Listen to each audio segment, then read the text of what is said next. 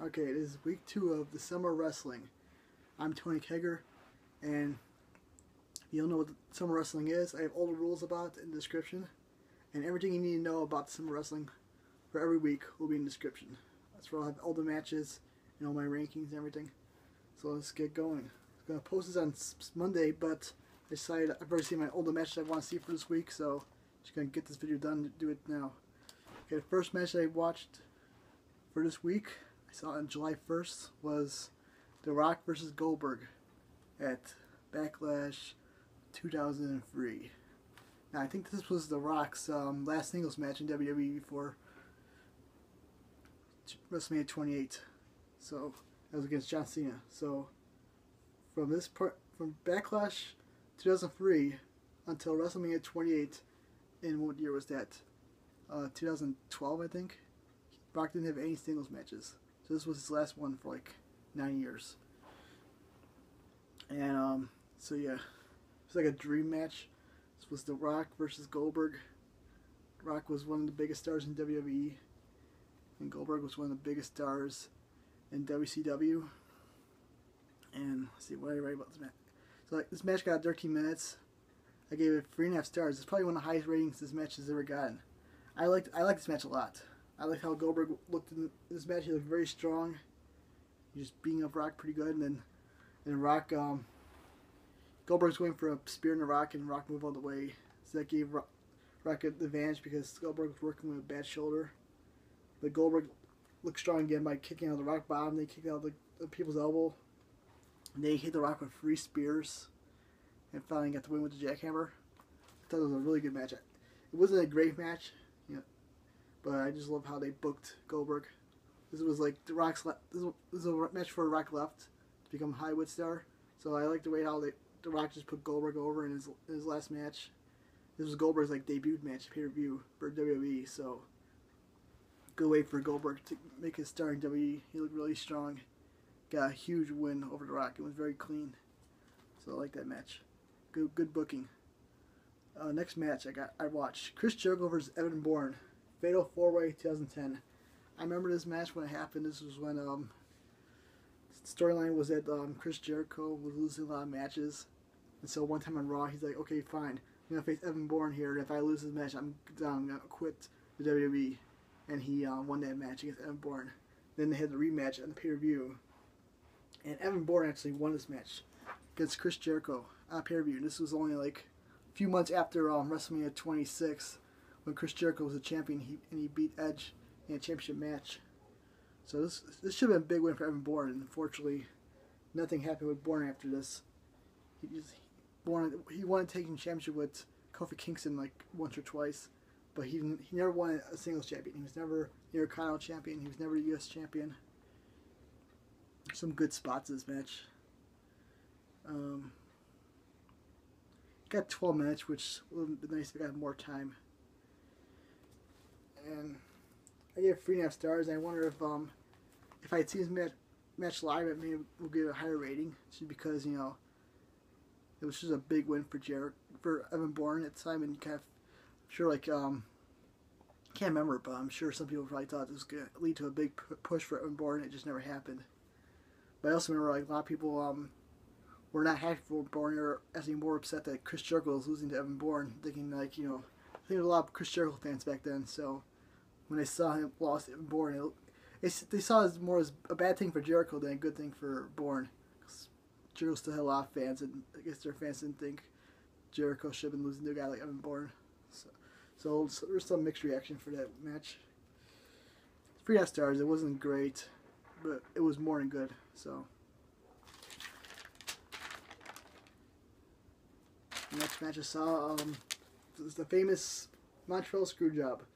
Survivor Series 1997, Shawn Michaels versus Bret Hart.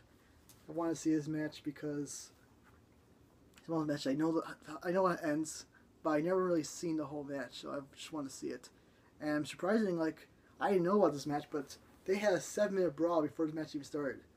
Like you know, like everybody got in the ring, Bret Hart and Shawn Michaels, and they just started brawling all over the place, and like the, the bell rang, so it was never not official match. But officially, his match was 12 minutes, but the brawling, it was really closer to a 20 minute match. And But once they got into the ring, once the match officially started, it wasn't um, that interesting. I like the brawling stuff better because they really like may feel like you know they really hate each other, and then and and they were brawling so much that like several referees were trying to break them up, and even like Vince Man was out there trying to like break him up, trying to get him into the ring, trying to get this match started. So that was cool seeing like how you know Mickey like feel like a big deal. Never brawling in the crowd, and they brawling by the entrance ramp. It was a crazy brawl. And what else I got? But yeah, when they got in the ring, it kind of got kind of boring. And even felt like the crowd stopped cheering as much. The crowd got kind of quiet near the end. So yeah, at the end, like Bret Hart got screwed.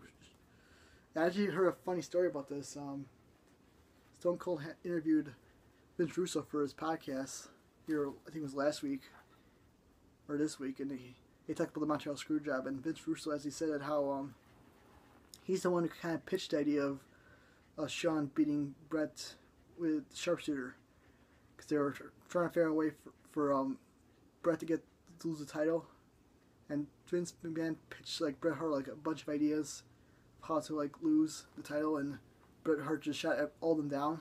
So finally, so Vincent Russo and McMahon were talking about three days before the pay per view, and finally Russo just said like, you know, why don't you just have um, Shawn Michaels put Bret Hart in a sharpshooter, you know, have have the referee like call for a bell, and that's it.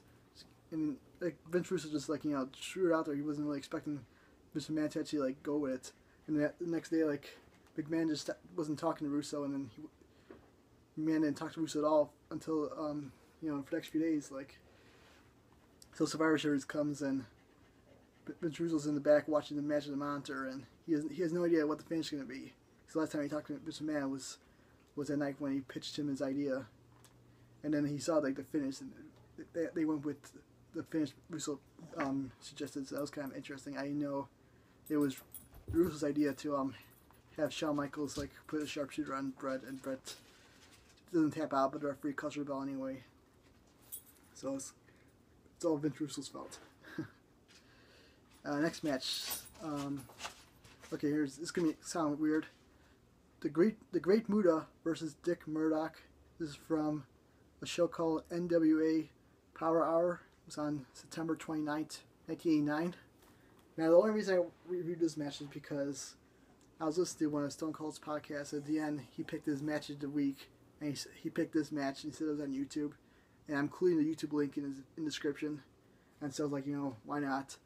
Know, I want to see some new matches. You know, Stone Cold recommended this match, so I'm just going to watch this match. It's got Jim Ross and Jim Cornette in commentary. And, by the way, J- Jim Ross and Jim Cornette are great in commentary. So that part's good. But the, the match, it's a really old school match. A lot of, like, um, you know, st- storytelling and, like, working the legs and stuff like that. And it was interesting to watch. I kind of enjoyed it, but it wasn't my kind of style. And, like, got kind of boring to me. But it was okay match. I gave it three stars and one quarter. And by the way, I forgot if I rated the Shawn Michaels and Bret Hart match. That match got three and a half stars. Sorry about that. I forgot to rate that one. And so yeah, three, three, three and one quarter stars for um, this match. Wasn't a great match. I didn't love it, but I, I, I can see why Stone Cold recommended it. It wasn't a terrible match. I like some parts of it. Just to me, it wasn't that great. Okay, next match. Cactus Jack versus Vader. Halloween Havoc 1993 is the match. Been wanting to see for a while. Vader and Vader and um, Cactus Jack had a great rivalry. You don't know Cactus Jack is Mick Foley. He was um, during the Vader Cactus Jack match when um, Mick Foley lost his ear in Germany. So this was um, this might have been like the only pay per view um, singles match they've ever had, they had. So a Texas Death Match, which meant after every pinfall, there was a 30 second rest period. And after the rest period, um, the guy who got pinned had 10 seconds to get up or else he would lose the match.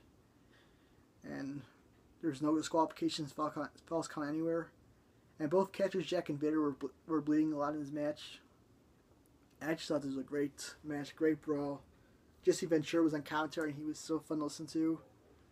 And the only thing bad about this match was like the ending, where like Cactus Jack is trying to get up for the 10 count, and Harley Race, who's like Vader's manager, he tasers him, and then Cactus Jack goes back down, and the referee calls a 10.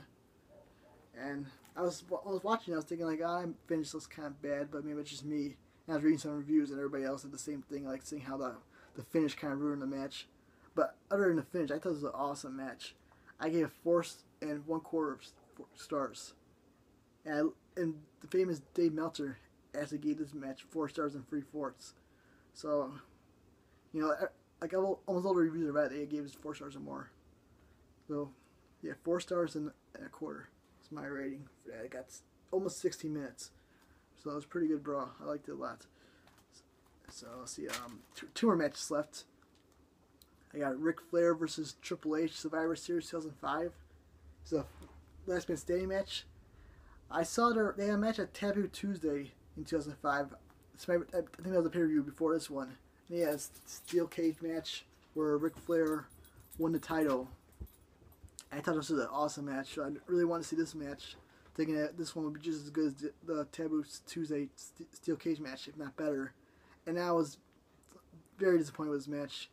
It got some cool things where like Ric Flair was attacked by Triple H with a screwdriver. I thought that was kind of like really interesting because you don't see that very often. And Ric Flair was bleeding a lot. And he did the spot where like Ric Flair got um, Ric Flair back dropped Triple H through the announce table, and then they had Ric Flair take free pedigrees and got he got from every single one of them.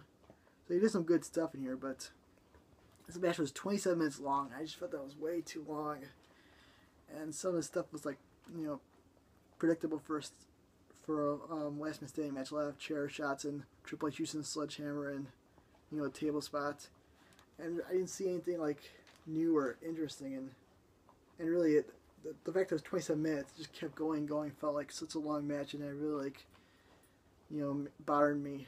It felt like way too long. Should have been shorter. So I actually gave this match three and one quarters of the match. Three, three um, and one quarter stars. I was not very impressed with this match at all. I, just, uh, I thought it was getting better. And really, the fact that it was 27 minutes really bothered me just way too long. I felt like I wasted too much time watching this match. But it was okay. It was okay. It wasn't great. I thought it was going to be a little better than that. Okay, finally, last match I saw. Stone Cold versus Rob Van Dam versus Kurt Angle. Tri triple threat match for the WWF Championship at No Mercy 2001. I've been wanting to watch this match for a while because former WrestlingDVDnews.com reviewer uh, Brett Mix had great praises for his match, saying how it was arguably Stone Cold's greatest performance in a match. And so I just want to check it out, see how good it was. And at first, I wasn't that impressed. I was, like, okay, it's a good match, but I didn't think Stone Cold looked that good. I thought like Rob Van Dam and Kurt Angle were very impressive, but I was thinking like, this is Stone Cold's best performance. Uh, I wasn't seeing it. So I decided to watch the match again, and just you know, this time only watch Stone Cold wrestle, just focus on him the whole time. And I saw that time I appreciated it a little more because I could see how Stone Cold, you know, the triple threat match. Usually in those matches, guys get breaks. You know, they'll they'll be outside the ring for a while while the other two guys wrestle. And Stone Cold pretty much wrestled this whole match. He got he was sometimes when he was you know outside the ring and like Kurt Angle and um, Rob Dam were brawling and fighting in the ring. For most of the time, it was just like Stone Cold and Angle going at each other, and Stone Cold versus Rob Van Dam going at each other, and Stone Cold just works like almost the whole match, and he just kept going like. So that was impressive. See how Stone Cold like, you know, Kurt Angle and Rob Van Dam were taking several breaks during his match, but Stone Cold just kept going. He was like involved in almost every spot. So that so that part was pretty interesting. And what this match is kind of famous for is that um, Bishop Man comes out later in his match and he hits Stone Cold in the back of the head with with a chair shot, and Stone Cold actually started bleeding from the back of his head. It, gave him a huge scar that he still has in his head to this day. And I think Stone Cold called it like the worst chair shot he ever taken. It's kind of you know ironic that the worst chair shot he ever got was from Business Man, and then like you know like, not from a real wrestler. But you know it's been got 15 minutes, and after seeing um the, the 27 minute Ric Flair versus Triple H match, I like this match a lot better because it felt quicker for 15 minutes, just kind of a lot better pace. And I thought Stone Cold and Van Dam and Kurt Angle all had did really good in this match. So so I gave this three and four quarter stars. I think Brett Mix gave four stars. I didn't like it that much, but I thought it was a good match. That'd be my second best match of um, the week. So I see. Let's see. I did So let's see. I remember this. So my top four matches of the week were number five. I should have wrote this down. I forgot. See number my number five um, match of the week was the Shawn Michaels versus Bret Hart match, Montreal Screwjob. Number four, I think, was The Rock versus Goldberg. Number three, Chris Jericho versus Evan Bourne. Number two, Stone Cold versus Rob Van Dam versus um, Kurt Angle. And my number one match of the week, Vader versus Cactus Jack. And now my top five matches of summer. It's changed now. Let's see if I can remember this. Uh, coming in number five is going to be that Stone Cold versus Rob Van Dam versus um, Kurt Angle match.